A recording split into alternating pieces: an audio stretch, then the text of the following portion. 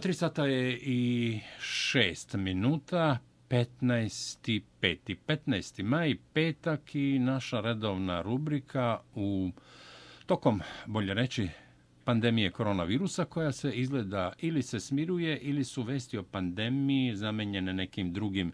Otac Miloš Vesin. Dakle, idemo naša redovna rubrika, duhovni lek, vere, nade i ohrabrenja protiv koronavirusa. Hristos Voskrse, da, izvolite. Dragi Milorade, dragi moji Srbi, Srpkinje, Čikaga i Koline, dragi naši srpski prijatelji i naši prostorno daleki i vas da bliski slušalci. Svakako da su, evo ova posljednja tri dana od Svetog Vasilija Ostroškog, njegovog praznika, slava mu i milost, pa evo sve do sada, ispunjeni mislima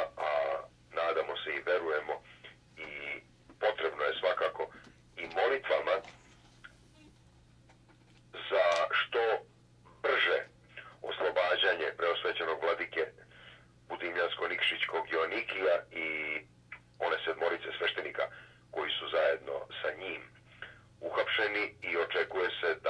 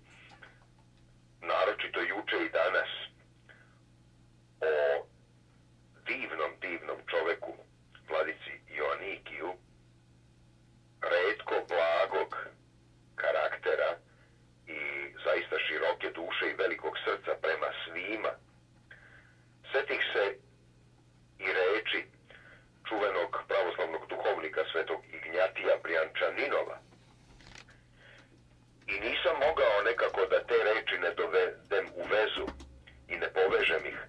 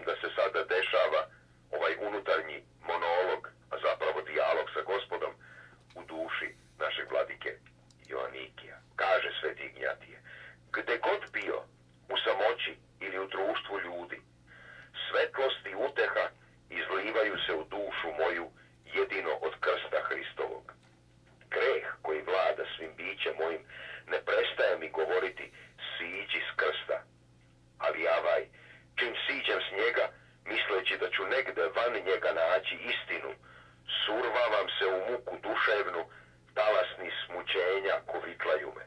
Kada siđem s krsta, nađem se bez Hrista. I kako pomoći sebi u ovakvom zlu i tolikom iskušenju? Molim se Hristu da me